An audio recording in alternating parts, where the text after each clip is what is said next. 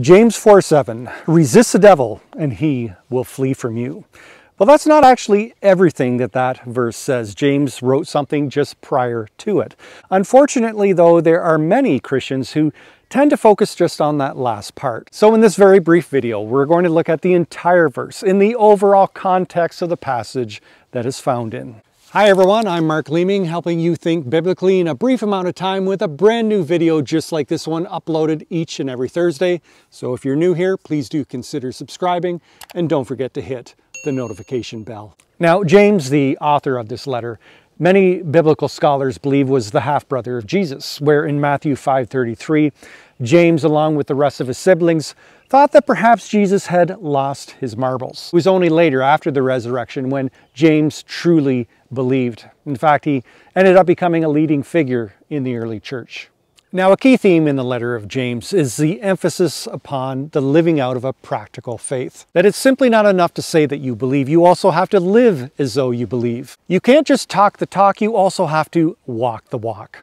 In James 2.19, for example, James wrote, So you believe that there is one God? Well, even the demons believe that. In other words, yes, the demons, they acknowledge that there is a God, but they certainly don't live in obedience to him. And so there's this great emphasis in the letter of James upon human responsibility when it comes to holiness and personal piety, which now brings us to the overall context of James 4.7. James 4.7 actually reads, Submit yourselves to God then, resist the devil, and he will flee from you. You can't live as the devil wants and then be surprised that he's in control of your life. Now, I should make it clear that unlike God, the devil is not omnipresent. He can't be everywhere at the exact same time, so it's highly unlikely that any of us will ever personally encounter the devil. I think what James was referring to was the demonic realm in general, as per what Paul wrote about in chapter 6 of Ephesians when he spoke of the principalities and powers. Furthermore, contrary to the popular imagination, the Bible does not present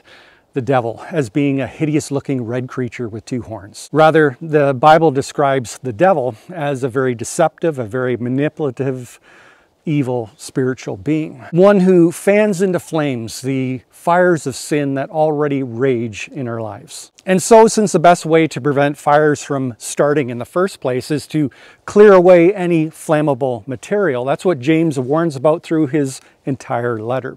That we must actively clear away the things in our lives that would give the demonic a foothold. For example, in the verses just preceding verse 7, James warns about worldliness, of taking on the world's value system, of taking on the world's modes of thinking and behavior that are so often contrary to God's. In other words, we need to do as James said. We need to submit to God. We need to obey Christ's commands. We need to obey what the Bible teaches. Now, that doesn't mean we have to be perfect. We will never be perfect this side of heaven. But as we grow in our walk with Christ, the stronger we will become. And the stronger we become, the weaker the influence of the demonic has in our lives. To subscribe, click on my face over there. To watch more of my videos, click on the end cards there. Thanks so much. I hope to see all of you next Thursday. Bye for now.